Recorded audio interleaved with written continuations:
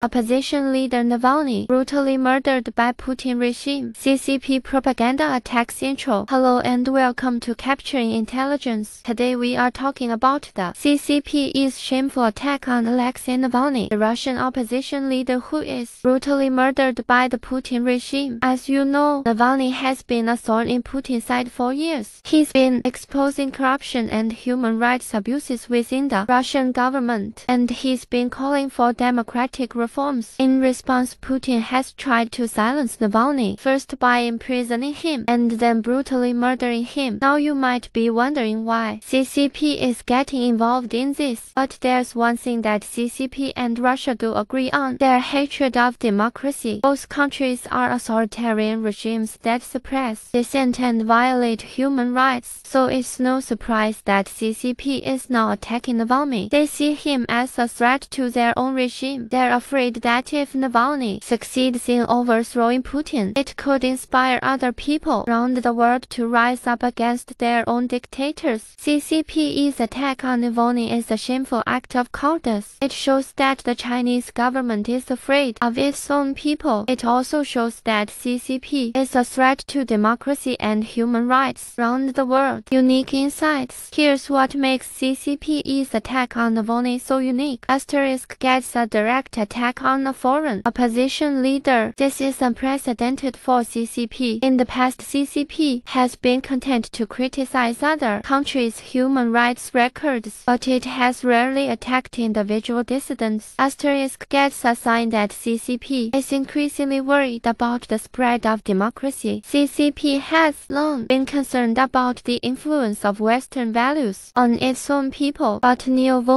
brutal murder in Russia has shown that the desire for democracy is alive and well in even the most authoritarian countries. Asterisk is a reminder that CCP is a threat to democracy and human rights around the world. CCP's attack on Navalny is not just an attack on one man, it's an attack on the very idea of democracy. Experts believe that CCP's attack on Navalny is a desperate attempt to shore up its own authoritarian regime. CCP's leaders know that their days are outnumbered. The Chinese people are increasingly demanding democracy and human rights, and Navalny's example is showing them that it is possible to stand up to dictators and win. CCP's attack on Navalny is a sign of weakness, not strength. It shows that the Chinese government is afraid of its own people, and it shows that the Chinese government is a threat to democracy and human rights around the world. CCP's attack on Alexei Navalny is a shameful act of of this. It shows that the Chinese government is afraid of its own people and that it is a threat to democracy and human rights around the world. We must stand with Navalny and other brave dissidents who are fighting for democracy and human rights. We must not let CCP silence them. If you found this video insightful, be sure to like, share and smash that subscribe button. Stay tuned for the latest current affairs on the Capture the Intelligence channel.